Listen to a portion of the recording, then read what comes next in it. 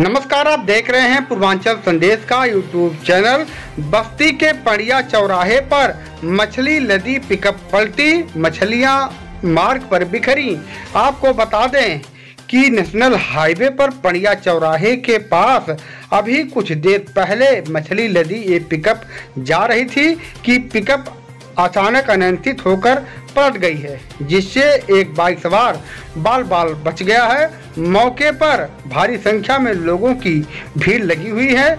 आप इन तस्वीरों में देख सकते हैं कि किस प्रकार से रोड पर मछलियाँ बिखरी हुई हैं। इस दौरान भारी संख्या में लोगों की भीड़ लगी हुई है। लोगों ने बताया कि पिकअप पर मछली लाद कर जा रहा था कि अचानक पिकअप मार्ग पर पलट गई है, जिससे मछलियाँ पूरी तरीके से मार्ग पर बिखरी हुई हैं। आप तस्वीरों में सीधे तौर पर देख सकते हैं किस प्रकार से मछलियाँ मार्ग पर बिखरी हुई हैं और पिकअप पलटी हुई है।